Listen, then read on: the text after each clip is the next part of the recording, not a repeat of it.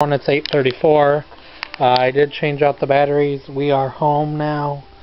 Um, like I said, I did pay that dentist bill. I don't know if I'm gonna finish my Christmas shopping today or wait until tomorrow. Um, what kind of threw off my Christmas shopping was I had to get a new phone. Um, but I want to try to finish it this month.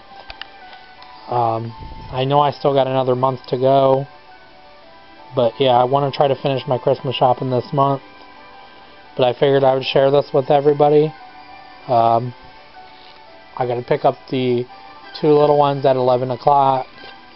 So I will make some videos on my way there and on my way back and and all that. But yeah, I am going to make this quick and I will talk to you guys soon. Have a good day. Bye.